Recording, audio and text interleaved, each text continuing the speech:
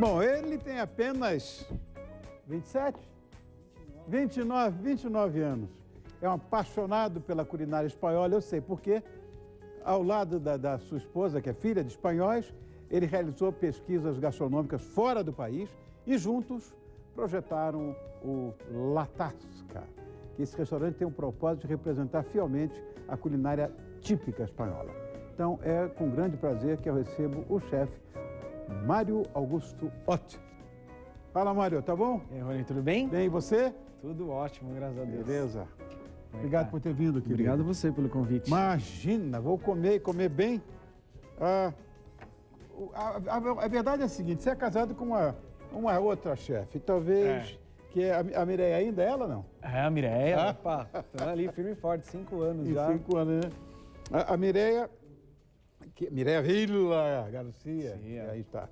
Que também tem um histórico incrível dentro da gastronomia, né? É, na verdade os- a família inteira, né, já tem um histórico, né? Tanto parte vó, parte de mãe, como parte de pai, já cozinhavam, daí veio o carinhoso, né, que eu chamo ele de gordo, o Alan, que agora não é mais gordo, agora é magro. É, emagreceu ela, né? É, tá- fechou a boca, né? Fechou a boca. E agora a gente resolveu assumir. A gente começou na faculdade, começou a trabalhar, trabalhar, trabalhar, e agora a gente tá junto lá no Latasca, né? Que ele não fecha o humor, né? Porque é um cara bem humorado, né? Nossa, demais. É, até demais da conta, né?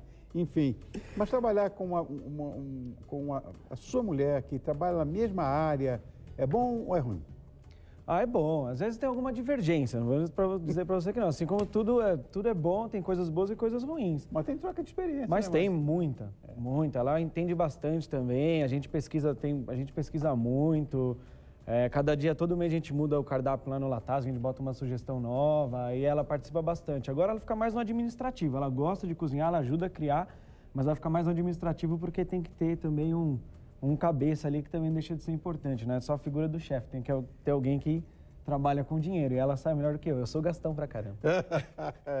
Bom, cozinha espanhola eu gosto muito também por motivos parecidos com, com o seu, né? Uhum. Também sou casado com uma descendente de espanhóis.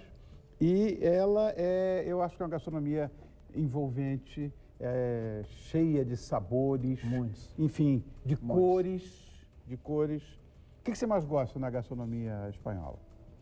Olha, eu na verdade, sim, eu sou suspeito. Na verdade, eu tô, cada dia a gente está aprendendo uma coisa nova. Eu não sei tudo ainda. Então, tem muito espanhol que vai lá no restaurante no Latas, que vai lá e me ensina uma coisa nova.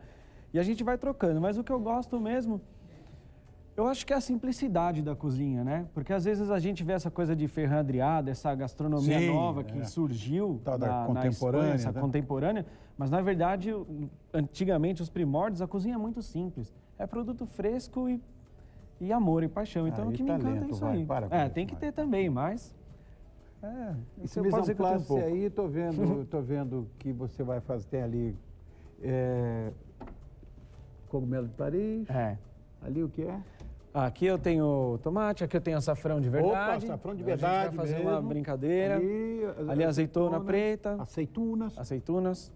Ali o famoso arroz bomba, que é o arroz Bomba, típico valenciano, que todo mundo confunde. Não, né? Todo não, não, mundo, não. isso é, é Arbóreo, arbóreo, não, não, não, carnaroli. Não, não, isso não. aí é arroz bomba. Arroz, arroz Então- bomba, que é tipicamente espanhol. Um, verde, Aspargos, aspargo, né? né? aspa- aspargo fresco. solomilho, que é nosso filé mignon. Solomilho, que... Solomilho alto, quer dizer, isso, ah, é. isso aqui é bom.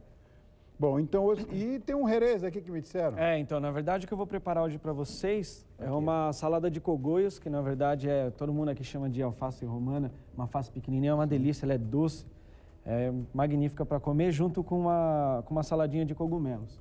É bem legal, de entrada. Vai ter entrada, vai ter tudo. Vai, vai ter direito. tudo, tudo que você tem direito, então tem que ter É, direito. hoje eu estou né? recebendo aqui os, os um secretário de Estado, É, então tem, tem que fazer moral. Vamos comemorar isso aqui. E hoje, e daí a gente vai fazer um solomilho jerez, né? Que Tá. na verdade é o filé ao molho jerez. E também a gente vai fazer um arroz meloso, que na verdade é o primo do risoto, Perfeito. Bom, com açafrão e aspargo.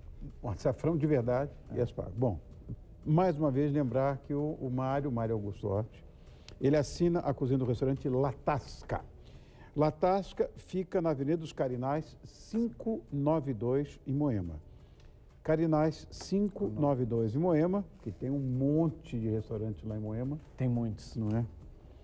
2308 1091 quer dizer, 2308-1091 Isso ou 3439-4498, 3439-4498 ou www.restaurantelatasca.com.br.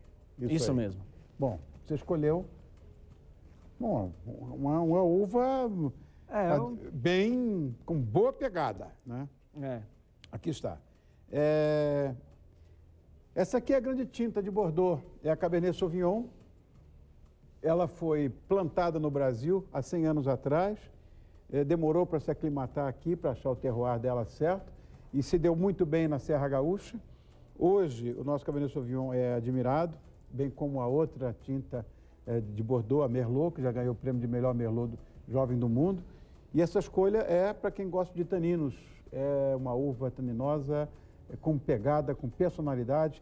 E que nós vamos tomar hoje aqui é o da série Volpe, que nosso querido Ângelo Salton deixou o nome Volpe com uma tela do, do, do famoso pintor Alfredo Volpe para que ele fosse lembrado ad eternum. E aqui está. Muito bem, 100 anos, demorou para se aclimatar, é uma confusão danada e tal, e hoje prêmios no mundo inteiro, o que, que você faz? Toma todas.